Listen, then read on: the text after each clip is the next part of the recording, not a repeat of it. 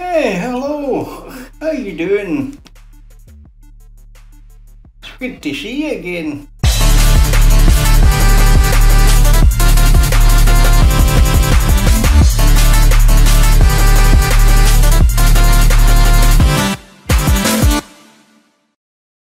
Hello. Welcome back to Miq's Mic. It's been a while since I've done a video, but I'm back.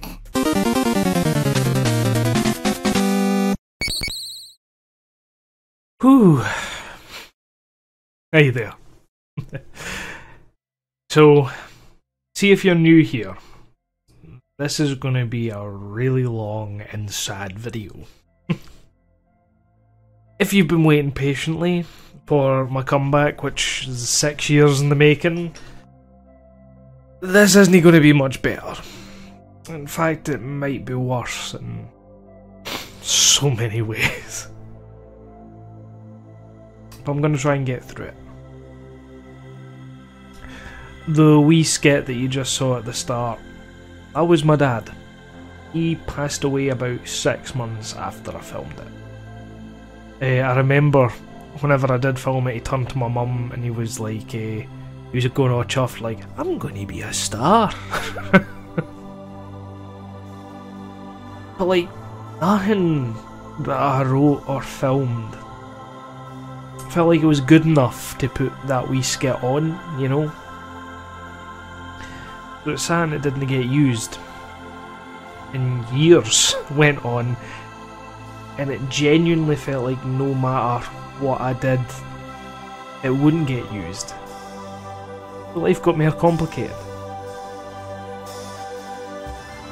Near the end of 2019, my wife was diagnosed with colon cancer and it metastasized in her lungs. She fought it for over three years. But unfortunately, she passed away in November 2022. 20 days after our 7th anniversary.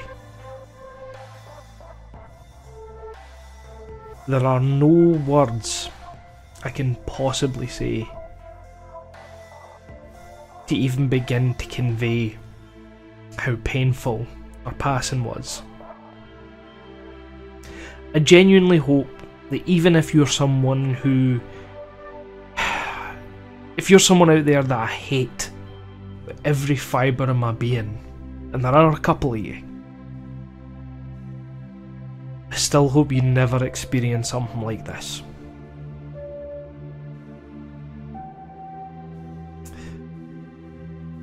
Some days I just want to give up.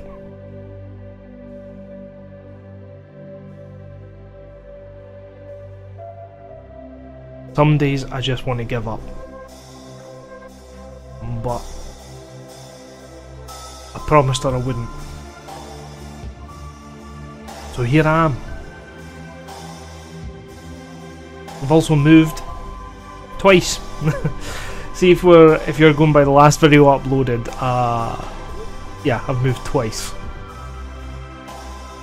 I'm sorry that he's never got to see my last place, but the place that I lived in uh, with my wife, it was a great place, and I had amazing housemates, and it pissed on the house that we were in before that for like a height. Like, see if I'm if I'm just being totally honest, like that house was shite, but then the house that we moved into before this house, like, was minty. It was so good. It was so good. The old house, shite. It was a basement, fucking mouldy. It was terrible, but it was cheap. So you know. Anyway.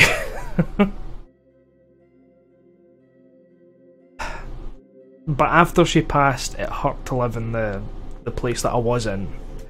Everything hurt. I couldn't even go to Starbucks because I was so used to ordering two drinks, you know, one for me and one for her.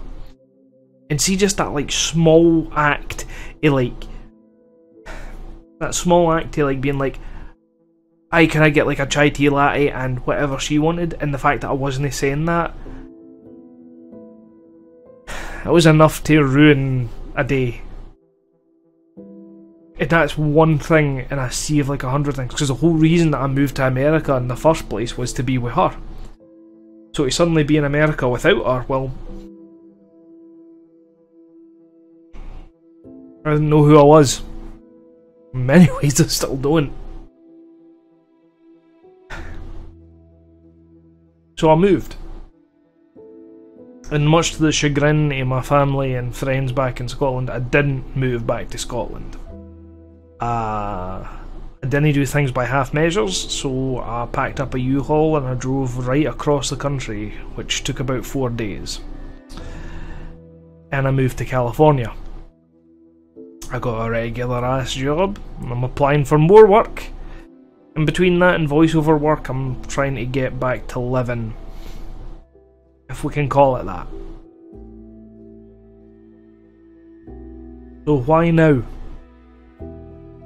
Why come back now? In a world where seas of YouTubers are fleeing from the site at an alarming rate, and everything's political, and life is only getting more and more difficult, would I possibly want to come back into any kind of limelight?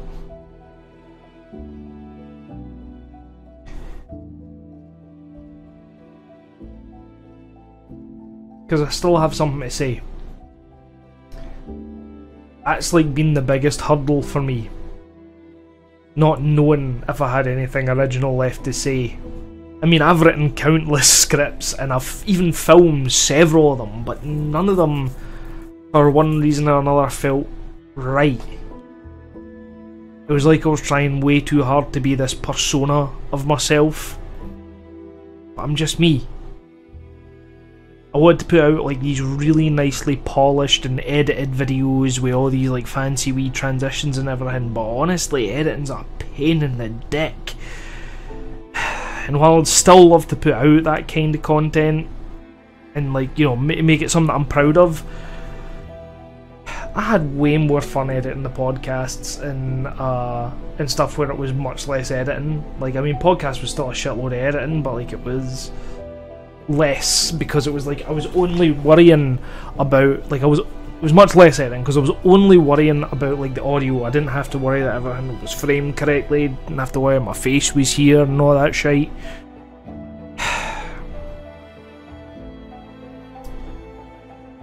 so, I mean, this doesn't mean that there won't be editing going forward. Like, I've just gone to a point where like my anger and like my yearning for a creative outlet has just exceeded my laziness. so before we talk about what's next, I'm going to try and answer some questions that I suspect you might have. Why the name change? Well, I loved I loved Miq's Mic. I thought it was a great great wee name but didn't he really say anything about about me? Like you know, like it, it didn't he say anything like Miq's Mic and the intentional misspelling because it was M I Q versus M I K E. It basically meant that no one reading it said it right. They'd call it like Mix Mick and stuff like that, and aye. But whenever I was working at like a, a comic and toy store, and shouts to Tosche Station, they nicknamed me Highlander because uh, there can be only one. There weren't exactly that many Scotsmen cutting about over in the States. So you combine that with the VO, which stands for voiceover. Pretty much tells you what you need to know, eh? I'm a Scottish voice actor. That says everything without meaning to say a word. So here we are. Uh, where have I been? Well, if like the explanation before didn't tell you, uh, I basically burned out. I had several crises all at once, and by the end of my wife's life, I was her full-time caregiver, and not even a particularly good one at that. Though I did my best. I just didn't think about YouTube or creating much of anything at all. I did start Twitch streaming, and that was a huge thing for me. I had I have this absolutely incredible community. Um, they've gotten me through a lot of tough times. Uh, the day after my wife passed, I actually went and streamed and just almost had like a, a mini eulogy for her, which is a really bizarre thing, but like I just didn't know what else to do, and she was a huge part of the community as well. We called her Wifelander because I was Highlander, so she was Wifelander, and I they loved her too.